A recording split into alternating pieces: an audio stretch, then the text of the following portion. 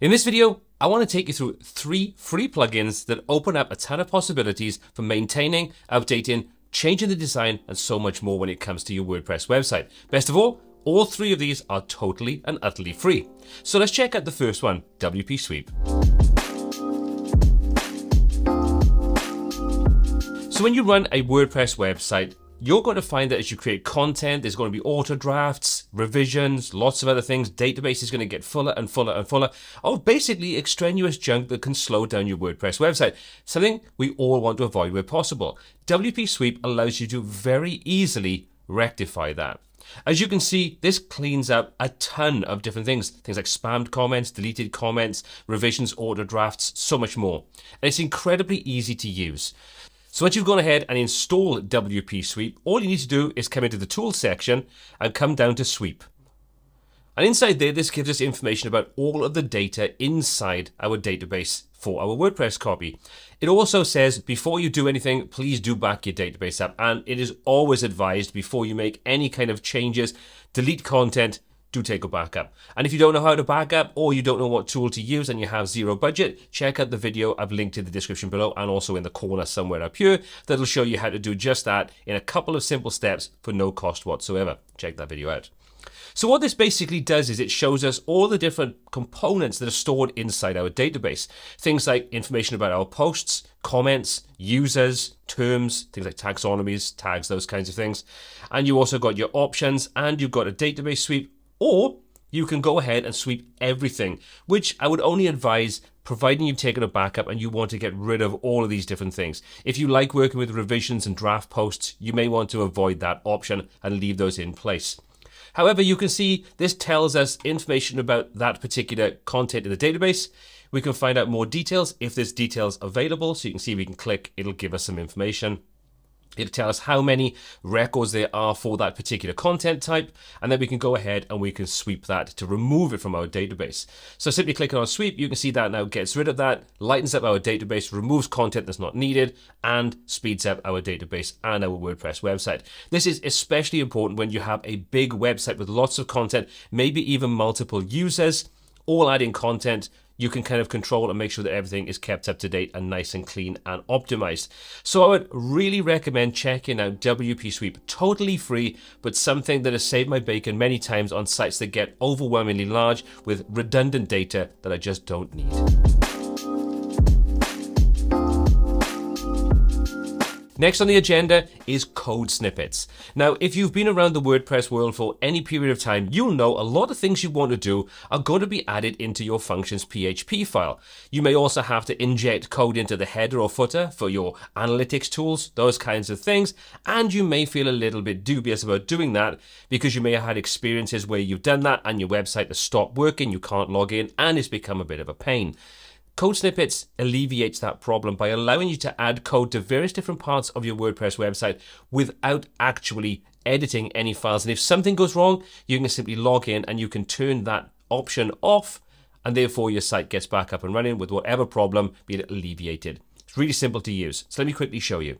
If you come into your WordPress dashboard, you'll see once the plugin's installed, you'll have a new entry called snippets. Inside there, we've got some options. Let's come into add new. And you can see now what we can do is we can add a snippet in. So we can give this a name. We can tell it where is it going to go? Is it going to go into the functions PHP file or is it content that's going to go into the HTML area? You can see we simply need to click in between the two of these. You can then choose where you want that snippet to run. So you could run it everywhere, front end, as in the website itself, the dashboard, which is the back end.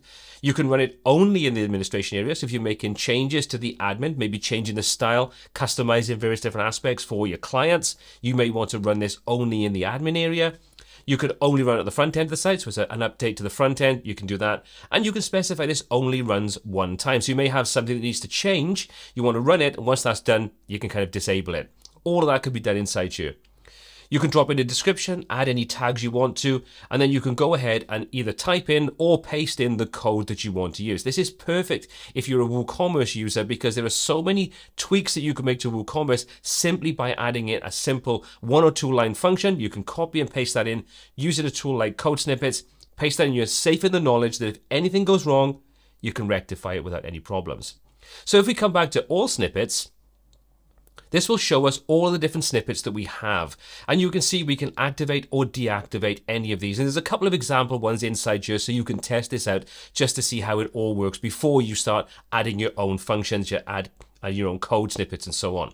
So you can see again, we can view just the functions if we want to, just the content or the HTML ones, or we can view all the snippets. And if you want more, you can upgrade to the Pro, but the free gives you so much control, I don't think most users have to worry about jumping up to Pro.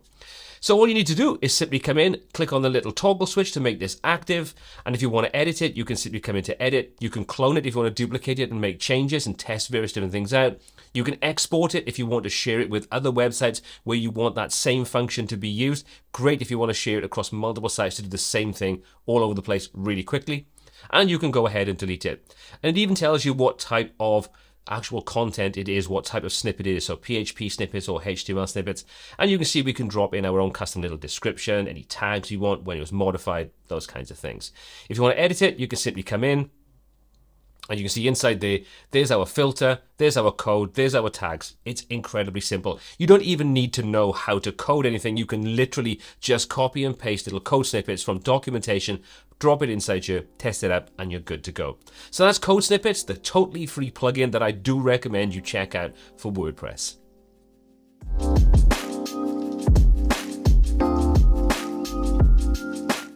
Now, the third one on our list is a much bigger plugin. This is the free or light version of Microthemer. Now, you may be thinking, what the hell is that, Paul?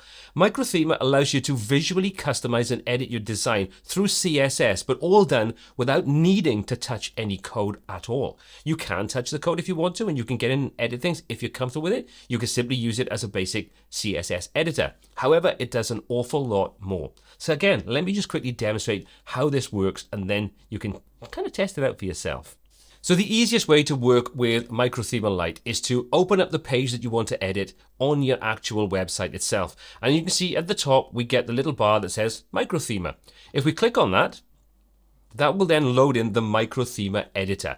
And as you can see, we now have a visual editor. Now, bear in mind, this is the light version, so there are going to be features locked behind the Pro paywall. However, there's enough inside you to make this worthwhile using if you just simply want to dabble a little bit using CSS, but you're not comfortable actually hand coding things yourself. The other really nice benefit of using the free version is you can use CSS variables in a lot of instances. And now, what exactly does that mean? Let's say you're using a theme like Astra, which we are doing here. When you create your color palette and your fonts and typography and so on, they are saved as CSS variables, unique little pieces of code that reference that color from your theme. The benefit of this is if you make a change inside the customizer in your theme, when you use those CSS variables everywhere inside your design using either Astra's built-in features or using a tool like Microthemer's sort of CSS variable integration, all those will change. This means you change in one place and all the edits, all the changes you make will be reflected throughout your entire site. This is something that's incredibly powerful and great that we have that even in a minimal form inside the free version of Microthemer. But let me quickly show you how this works.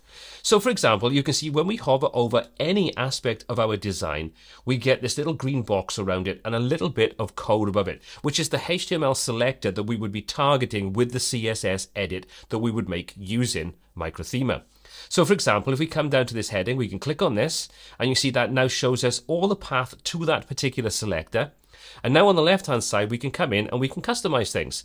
So for example, we may come into the font and we may say we want to change the color of this. You can click and you can see we can now go ahead and make color changes directly inside here. You can also see we can use the variables, as I just mentioned. So you can click in here and you can actually type in the variable you want, or you can click on the three dots and all the variables that are applicable are all listed inside here. So you can see we can actually tap into these. So this AST global color is referencing the Astra global color. You can see underneath we have these variable WP preset color, which are WordPress preset colors. So if you're not using that function from WordPress, Gutenberg itself, you can ignore those. And if you're using the Astra colors, all those are available to you inside here. So we click on this variable, you can see that now adds that in and we've got the color being referenced and this is now being used inside our design. You can see we can come into lots of different areas and we can change things like font sizes. And again, we've got the three dots so we can come in and use any of the suggestions. We can use site variables. So you can see we've got large, medium, small, extra large, and so on. So you can very quickly and easily make customization changes to pretty much any aspect of your design. Like I say, some of these things are kind of locked behind that paywall, but there is more than enough inside you to really get stuck in, get a feel for it. And if you like it, you may want to upgrade if you need those additional features. But for a lot of use cases, the free version is more than abundantly powerful to do what you need. So that's three plugins for WordPress that are totally free that I absolutely think you need to check out for yourself. They have a lot of really good options to enhance your WordPress website to help you customize, optimize, and basically have everything running as smoothly as possible. But as always, I would love to get your feedback. Do you use these tools? Have you got tools you would recommend? Let me know in the comment section below. I'd love to hear. As always, all the applicable links are in the description. My name is Paul C. This is WP Tuts, and until next time, take care. Thank you.